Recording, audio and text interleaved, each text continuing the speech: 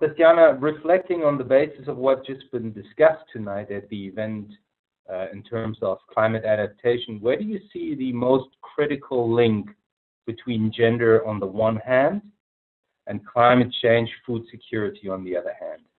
It's not on the one hand and on the other hand. Uh, that's the first thing. Um, the fact is that uh, gender, climate, food security, energy security, and water security are all absolutely interlinked. Uh, and they all either get worse together or we can address them successfully and improve them together. But there's no separation of, uh, of, of, those, uh, of those topics because they're all absolutely inextricably interlinked. In terms of uh, your work on the guidelines for the national action plans for climate change, what is your approach in including gender aspects into these um, NAPAs? The um, national um, adaptation plans need to incorporate, and that is the mandate that they have received, need to incorporate uh, gender um, sensitive data they need to inc- incorporate um, gender sensitive needs assessment, and eventually they will move forward toward gender sensitive policy. But that policy need to be based on the data gathering that is that is gathered um, and on the needs assessment. So those would be the two pillars that would then be used to uh, to help the uh, policy definition of adaptation based the gender def definition based on those two um, on those two needs. Is it more a mainstreaming approach, or is it? Well, you can call it whatever you want. You can call it mainstreaming. You can call it, you know, I, I just don't, don't like to use buzzwords because everybody uses the buzzwords, and and eventually we we either mean everything or nothing with those buzzwords. The point is, the point is that you need if you are going to move toward policy of adaptation in developing countries. There is no doubt that you need to base that on um, the specific needs that women have in those countries and on the data that is collected for the reality of women in those countries. If you want to call that mainstreaming, you can call it mainstreaming. I prefer to go exactly to the action. Thinking of the national action plans and the guidelines, there might be some fundamental changes in countries and these development countries that will ultimately, the climate change might ultimately change the whole setup of those societies. Is there anything in terms of the guidelines that can provide some provision for that? How could how that uh, change can come about?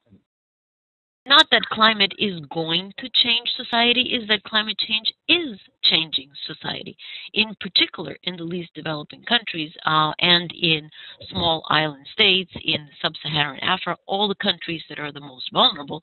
This is not something in the future. This is already reality. Uh, and so, in that sense, uh, we need to be thinking about two things at the same time.